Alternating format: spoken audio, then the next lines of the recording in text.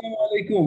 আমার প্রিয় সুধী এবং যারা আমাকে নিয়মিত ফলো করে থাকেন ইউটিউব এবং সোশ্যাল মিডিয়াতে এখনকার সময় আপনার দেশের অর্থনীতির যে অবস্থা, সারা পৃথিবীর অর্থনীতির যে অবস্থা, সেই অবস্থা এসে আমরা আইএস টোয়েন্টি ওয়ান অর্থাৎ ফরেন কারেন্সি ট্রানজেকশন ট্রান্সলেশন এই রিলেটেড যে ফ্ল্যাকচুয়েশন লস গেইন হয় এটি এখন খুবই ইম্পর্টেন্ট হয়ে গেছে স্পেশালি বাংলাদেশ ইকোনমির জন্য।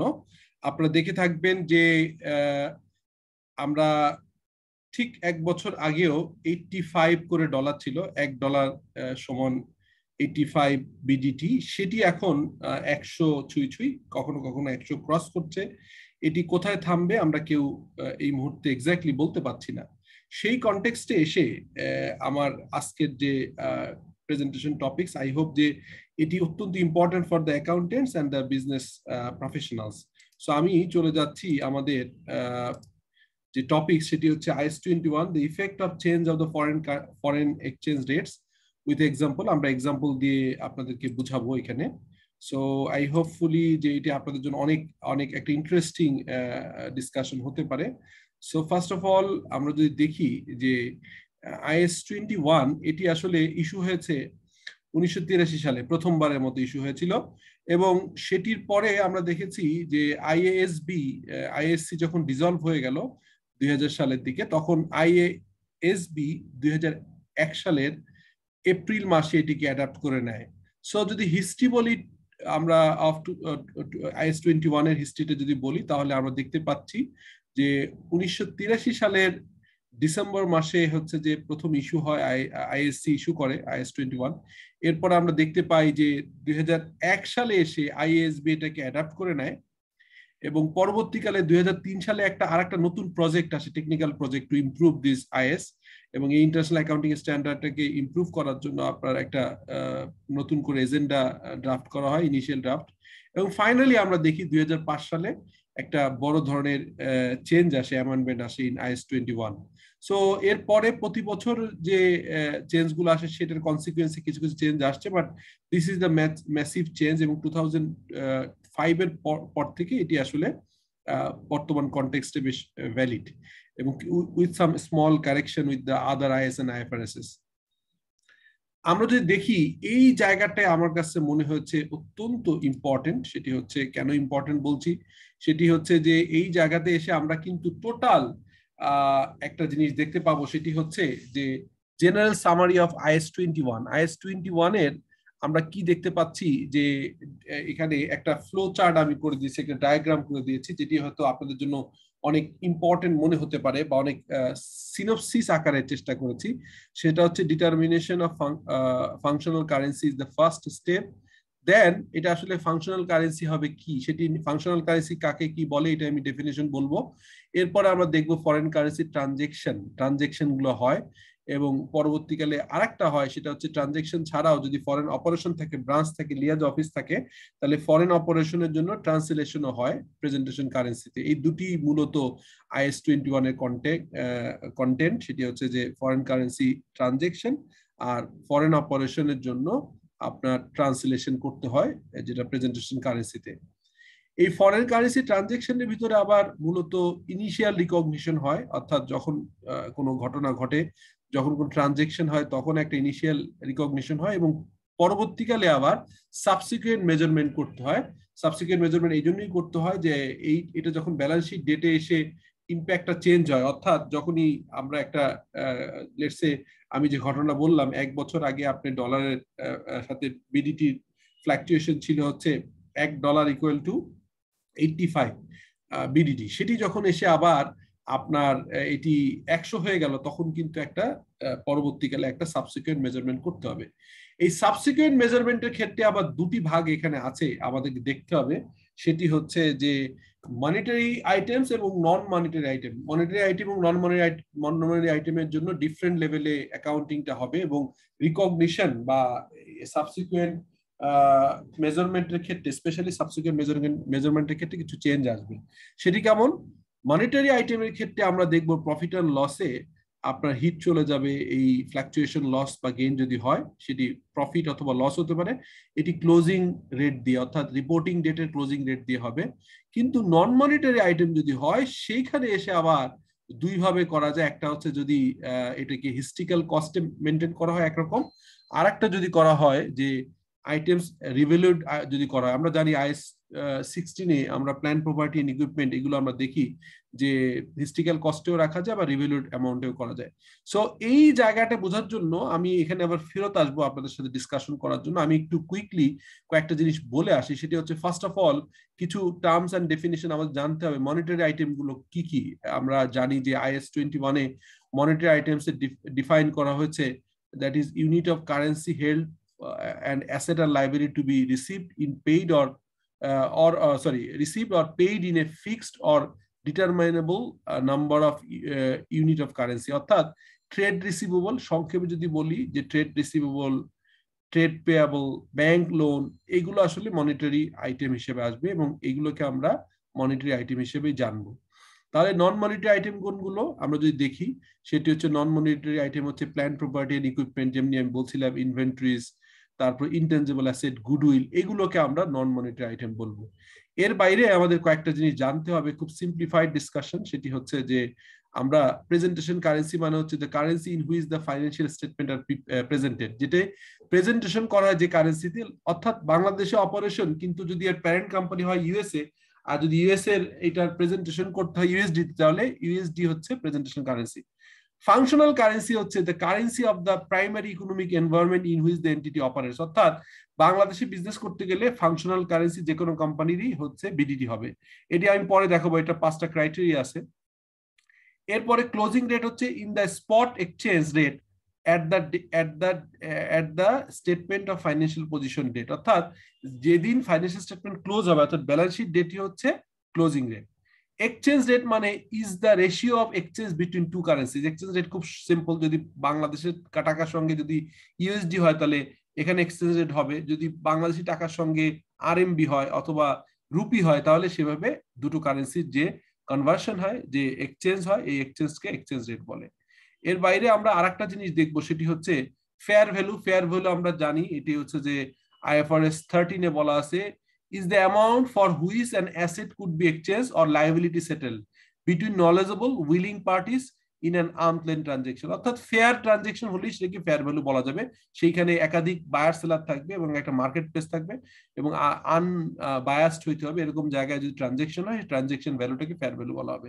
Foreign currency foreign currency is a currency other than the functional currency of the entity অর্থাৎ যদি ফাংশনাল কারেন্সি বিডিটি হয়, তাহলে ফরেন কারেন্সি ইউএসডি হতে পারে। মানে যেটি তাদের সাথে স্পট এক্সচেঞ্জ এক্সচেঞ্জ রেট হচ্ছে is the exchange rate for immediate delivery হ্যাঁ? যেটা হচ্ছে ইমিডিয়েটলি যে টাকা দিতে হবে, যে রেটে দিতে হবে, আজকেই যদি আমি একটা এলসি করে যদি এটা এলসি এর সাইট হয় এবং আজকেই প্রোডাক্ট আসে, তাহলে আমি জানি যে এক dollar equal to hundred BDT তাই হবে।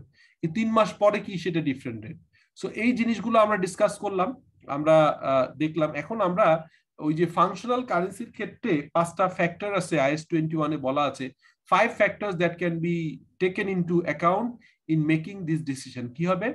এটা কোন কোন, কি, কীভাবে আমরা বুঝতে পারব যে এটাকে ফাংশনাল কারেন্সি হবে কি হবে না? The mainly influence the price at which goods and service sold অর্থাৎ বাংলাদেশে ব্যবসা করতে গেলে কিন্তু বাংলাদেশি টাকাই কিন্তু আপনার প্রাইস সেট হবে। অতএব আমরা বুঝতে পারছি যে এটা হচ্ছে ইনফ্লুয়েন্স করে, অর্থাৎ বিডিটি বাংলাদেশের ক্ষেত্রে এটা এটা হচ্ছে ফাংশনাল কারেন্সি হবে। এটা একটা criteria second criteria of the country whose competitive forces and regulations mainly influence the entity's pricing structure বাংলাদেশের প্রাইসিং স্ট্রাকচার হয়, আমাদের এনবিআর এর ভ্যাট ট্যাক্সের সমস্ত ইস্যুগুলো হয়, এগুলো কিন্তু লোকাল কারেন্সিতে হয়। অতএব এটাই লোকাল কারেন্সি বাংলাদেশে বিডিটি হবে, এখানে functional currency that influence the cost of the entity একটা বিজনেসের কস্ট কি হয়? আমরা লেবার পেমেন্ট করতে হয় এখানে বিডিটিতে আমাদের লোকাল প্রকিউর করতে হয় বিদ্যুতে সেলস হয় বিদ্যুতে হয়তো কিছু প্রোডাক্ট আমরা ইম্পোর্ট করি র মেটেরিয়াল সেটা ডিফারেন্ট কারেন্সি বাট মোস্টলি আপনার কস্টটাকে বিডিটিতে হয়। চার নম্বর ইনহুইস ফান্ড আর জেনারেটেড আমাদের দেশে ফান্ড জেনারেট হয় বিডিটি আমরা ব্যাঙ্গালোর বিডিটি নেই সেলস করেও বিডিটি টাকা রিয়েলাইজ হয় অর্থাৎ ফান্ডটাও বিডিটিতে ইনহুইস রিসিভ ফ্রম অপারেটিং অ্যাক্টিভিটিস আর রিটেল এবং এইখানে বিজনেস করে ব্যাংকে যে টাকা থাকে বা আমাদের রিটেল টাকা থাকে, এটা বিডিটিতেই থাকে। তার মানে এই ক্রাইটেরিয়া দেখলে আপনি বুঝতে পারবেন যে এটি আসলে ফাংশনাল কারেন্সি হওয়ার একটা ক্রাইটেরিয়া এবং আমরা জানি যে বাংলাদেশে বিজনেস হলে বাংলাদেশের বিডিডি হবে হচ্ছে এখানকার ফাংশনাল কারেন্সি ইন্ডিয়া হলে ইন্ডিয়ান রুপি হবে চায়না হলে চায়না আরএমবি হবে। সো এই জিনিসগুলো আছে, একটা এক্সাম্পল এখানে দেয়া আছে। এক্সাম্পলটা ওই ওই প্রথম স্লাইডের সাথে মিলিয়ে দেখাবো। এখানে সিম্পল একটা উদাহরণ দিই। আপনি কিছু গুডস সার্ভিস গুডস ইম্পোর্ট করছেন ফ্রম ইউএসএ একশো ডলারে এবং তখনকার সময় আমি জাস্ট সিম্পলিফাই করার জন্য বলেছি, এক ইউএসডি সমান বিডিডি ষাট টাকা ছিল।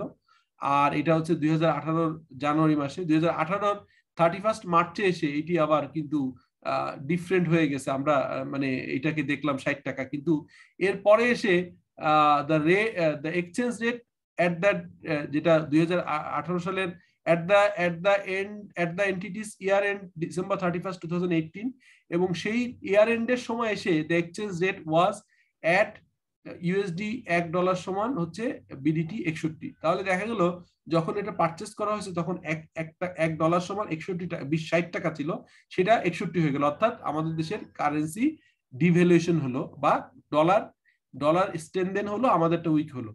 Due to the due uh, the due date of the payment is 31st April 2018 the exchange rate was at that date 1 USD equal to 62 অর্থাৎ আমি কিনলাম হচ্ছে যে জানুয়ারি মাসে দুই হাজার আঠারো, তখন ছিল এক ডলার ইকুয়াল টু ষাট। এরপর reporting date Indian company reporting date হয় থার্টি ফার্স্ট মার্চ আমরা এই উদাহরণটা একটা ইন্ডিয়ান কোম্পানিতে লিখেছি। সেটি হচ্ছে থার্টি ফার্স্ট মার্চে সেটা এক ডলার ইকুয়াল টু ষাটের জায়গায় চেঞ্জ হয়ে একষট্টি হয়ে গেল। আবার যখন সেটেলমেন্ট পেমেন্ট ডেট তখন এক ডলার ইকুয়াল টু বাষট্টি হয়ে গেছে। সো বলা হচ্ছে the entity's functional currency BDT তাহলে কস্ট অফ গুডস বিডিটি ষাট, ছয় হাজার ছিল। এক্সচেঞ্জ লস একশো এবং ট্রেড পেয়াবল ছিল হচ্ছে ছয় হাজার একশো। এটা হচ্ছে এই রিপোর্টিং ডেটে এই জায়গায় এসে আমরা ওই এক্সাম্পলগুলো দেখব। এখন আমি এক্সাম্পলের সলিউশন দেখার সঙ্গে সঙ্গে আমি প্রথম স্লাইডে চলে যাই। আপনাদের জন্য ইজি হবে। প্রথম, আমি এক্সাম্পলটা টানবো, কিন্তু সঙ্গে সঙ্গে আমাদের যেটা করতে হবে, আমাদেরকে ওই জায়গাতে আমি মেইন জায়গাটা আপনাদের দেখাবো। সেটি হচ্ছে যে আমি যখন বলছি যে আমি ট্রান্সলেশনটা পরে বলি, এটা এটা আগে হচ্ছে ট্রানজেকশন বলি ইনিশিয়াল রিকগনিশন অলওয়েজ হবে স্পট রেটে অর্থাৎ যেদিন আপনি এলসি ওপেন করলেন, যেদিন প্রোডাক্ট কিনলেন, যেদিন প্রোডাক্ট এলসি ওপেন করলেন, ওই দিনের রেটটাই হবে হচ্ছে ইনিশিয়াল রিকগনিশন এটা নিয়ে কোনো সন্দেহ নাই এবং সেই কারণে ইনিশিয়াল রিকগনিশনে কোনো গেইন লস হয় না। এরপর সাবসিকুয়েন্ট মেজারমেন্ট অর্থাৎ ওই যে মাস শেষে বা বছর শেষে স্পেশালি বছর শেষে, তখন আপনার এসে এই সাবসিকুয়েন্ট মেজারমেন্টের সময় প্রফিট অথবা লস আসতে পারে। সেই প্রফিট লস আসার ক্ষেত্রে মনিটরি আইটেম যেটা দেখলাম account receivable trade receivable trade payable এগুলোকে আমরা মনিটরি আইটেম বলছি। এই মনিটরি আইটেমের ক্ষেত্রে প্রফিট আর লস রিকগনাইজ হবে, আর এটা হবে হচ্ছে ক্লোজিং রেট দিয়ে, অর্থাৎ রিপোর্টিং ডেট যে ডেটে এখানে দেখছিলাম যে বছর শেষ হচ্ছে থার্টি ফার্স্ট মার্চ টু ওই রেটের ক্লোজিং রেটটা হবে রিপোর্টিং ডেট কিন্তু যদি নন মনিটারি আইটেম হয়, সেইভাবে দুইটা ভাগ আছে, যখন এটাকে হিস্ট্রিক্যাল কস্ট হলে স্পট রেট এবং এই স্পট রেটে হচ্ছে স্পট রেটটা হবে ট্রানজেকশন ডেটের রেটটা আর রিভেলিউড আইটেম হলে রিভেলিউড যদি করা হয়, তাহলে রিভেলিউড ডেট যেদিন আপনি রিভেলিউ করলেন, সেই রিভেলিউর সময় স্পট রেটটা নিয়ে আপনাকে কনভার্ট করতে হবে। তাহলে মনিটর আইটেমের ক্ষেত্রে অলওয়েজ ক্লোজিং রেট আর নন মনিটর আইটেমের ক্ষেত্রে এসে দুইটা ভাগ হিস্ট্রিক্যাল এবং রিভেলিউড হিস্ট্রিক্যাল হলে হিস্ট্রিক্যাল যে সময় কেনা হয়েছে, ওই সময় কার স্পট রেট আর যদি আপনার রিভেলিউড হয় রিভেলিউশন হয়, তাহলে রিভেলুয়েড রিভেলিউশন যে ডেট সেই ডেটের স্পট রেটটা হবে এখানকার আপনার এক্সচেঞ্জ রেট সো আমরা এখন দেখি কি হয়। আমরা একদম সিম্পল এই উদাহরণটা দেখব। দেখেন, এখানে আমরা দেখতে পাচ্ছি যে আপনার পারচেস করা হয়েছিল যখন এক ডলার ইকুয়াল টু ষাট ছিল, তখন আমি জানুয়ারির এক তারিখ দুই হাজার আঠারো সালে আমি পারচেস করছি ছয় হাজার টাকা আর ক্রেডিট টেট ক্রেডিটর বা টেট পেয়াবল ছিল ছয় হাজার। এরপরে ইয়ার এন্ডে যখন বছর শেষ হলো থার্টি ফার্স্ট মার্চ দুই হাজার আঠারো তখন foreign currency exchange loss recognise করলাম একশো টাকা বিকজ তখন একষট্টি হয়ে গেছে। আর ক্রেডিটার্স পেয়াবল বা পেয়াবল বেড়ে গেল হচ্ছে একশো টাকা। কারণ আমাকে এখন আর ষাট, ছয় হাজার টাকা দিলে হবে না, ছয় হাজার একশো দিতে হবে বিকজ ডলার এখন ষাট থেকে একষট্টি হয়ে গেছে। এবং ইয়ার এন্ডের কারণে আমরা এই এই খরচ, এই যে লসটা হলো, এই লসটাকে পিএনএল এ চার্জ করতে হবে। আমরা জানি এই ক্লোজিং এন্ট্রি হয় হচ্ছে পিএনএল অ্যাকাউন্ট ডেবিট হয়, আর ফরেন কারেন্সি লস ক্রেডিট অর্থাৎ এটা শেষ হয়ে গেল বছর শেষে। এরপরে এসে আপনার thirty thirty thirty eight April two thousand এসে আবার যখন পেমেন্ট করা হলো, সেই পেমেন্টের সময় এসে আবার একশো টাকা লস হলো। এই কারণে ফরেন কারেন্সি এক্সচেঞ্জ লস একশো টাকা আর অ্যাকাউন্ট অ্যাকাউন্টস পেয়াবল অথবা ক্রেডিট হচ্ছে একশো টাকা। তাহলে অ্যাকাউন্টস পেয়াবল একবার একশো টাকা ক্রেডিট করেছিলাম, এখানে একবার একশো টাকা ক্রেডিট করেছি। তাহলে টোটাল এখন অ্যাকাউন্টস পেয়াবল হয়েছে ছয় হাজার দুইশো, অতএব টোটাল ক্রেডিটর অথবা পেয়াবল হচ্ছে ছয় হাজার দুইশো এবং ব্যাংক বা ক্যাশ দিলে আপনার ছয় হাজার দুইশো। সো এটা আমরা খুব ইজিলি বুঝতে পারলাম। সেটি হচ্ছে এই যে, এই জায়গাটা এবং এইগুলো এগুলো যেহেতু অ্যাকাউন্ট রিসিভেবল ছিল, আমরা উদাহরণ হিসেবে এটা মনিটারি আইটেম ছিল। সো এই মনিটারি আইটেমে থাকার কারণে কিন্তু এটা আসলে ওই আমরা যখন যেটা রেট পাচ্ছি ক্লোজিং রেটেই করছি ক্লোজিং রেটে ক্লোজিং রেটে আমরা কাজটা করছি, ঠিক আছে? তো এটা আমরা বুঝতে পারলাম। আর অপারেশনের ক্ষেত্রে যখন ফরেন দেশের বাইরে এসবিও থাকে যখন কোনো অপারেশন থাকে অথবা কোনো স্ট্র্যাটেজিক বিজনেস ইউনিট থাকে অথবা যদি ব্রাঞ্চ অফিস থাকে লিয়াজ অফিস থাকে, তখন আমরা জানি অ্যাসেট এবং লাইবিলিটি এটা হচ্ছে ক্লোজিং রেটে ট্রান্সলেট করতে হবে। ইনকাম এবং এক্সপেন্স হচ্ছে স্পট রেটে আর ব্যালেন্সিং অ্যামাউন্ট হয়, এই অনেক সময় ব্যালেন্স ওসিআই কে ওসিআই কে ব্যালেন্সিং অ্যামাউন্ট দিয়ে মিলাতে হয়, এখানে কোনো অ্যাপ্লিকেবল না, সেটি হচ্ছে ব্যালেন্সিং ফিগার হয়ে যায়। So this are the small discussion for the first part of this presentation আগামী দিনে আমরা বাংলাদেশের কন্টেক্সটে এই ব্যাংকের ট্রানজেকশন দিয়ে একটা জার্নাল এন্ট্রি দেখাবো যে কি পরিমাণ foreign currency exchange loss gain recognise করতে হবে এবং এই ধরনের কন্টিনিউয়াসলি আমাদের ডলারের সাথে ফ্ল্যাকচুয়েশনের কারণে কি কি প্রভিশন রাখতে হয়, সেগুলো ডিসকাস করব। I hope it will be helpful for your